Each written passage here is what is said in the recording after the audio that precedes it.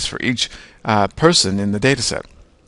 So you click on Save as variables, and you uh, for a principal components analysis, you do regression method. There's actually another Bartlett method and Anderson Rubin. They have their advantages and, and their disadvantages in the common factor analysis mode, whereas in PCA you only have regression as an option.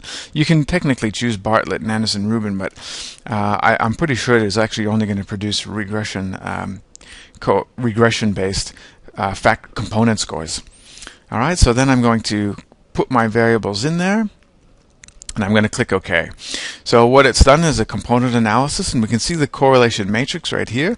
Wrist size and body height correlate 0.66 uh, together and then weight correlate 0.52 with body height and then finally wrist and weight correlate 0.63. So this is a great positive manifold to create a one single component um, for uh, body size and here we have the component loadings and these are 0.85, 0.896, 0.83, so all very strong components.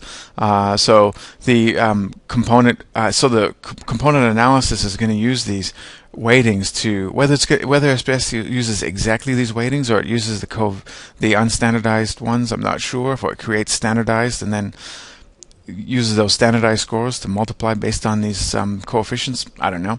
Doesn't really matter. Um, so I'm going to rename this body size component. I'm going to call it a factor just for simplicity, but it really is a component. Component scores. So now I've reduced these three variables into a single component score that is uh, very coherent because it's got three very three variables that are strongly correlated with each other positively, and arguably this score is a better indicator of general body size than either of these three individually. Uh, so now that I've got my body size factor, uh, I am prepared to do a covariance analysis. Now, technically, I could have thrown in all three of these as covariates into the ANCOVA, but I would have eaten up some degrees of freedom by doing so. And I would argue that it's more theoretically and from a measurement perspective, it's better to create a component that um, is based on the, the shared variance of these three variables, which is representing body size. And also, you don't have to do the linear regression, uh, the homogeneity of regression assumption for all three variables. I'm only using one in this case. In fact, that leads me to the first step of doing an analysis of covariance, which is to test the assumption of homogeneity of covariance. And what I'm getting at here is that the covariate has to have the same correlation with cranial capacity for both males and females. All right, because the analysis of covariance is going to use that information to help estimate adjusted means. So if the correlation between body size and cranial capacity is wildly different for males than it is for females, then the analysis won't be accurate because it uses a pooled estimate for that. Now let me show you in a very quick way what I mean. I'm going to split the file uh, between males and females. I'm not going to tell you exactly what I'm doing here. I'm doing it quickly. I just want to split the output for males and females for regression. So I'm going to analyze, I'm going to regress. Um, let me throw that out. I was doing some other analyses. So I want to regress the body, I want to use body size to predict cranial capacity, but I'm splitting my file for males and females. Okay?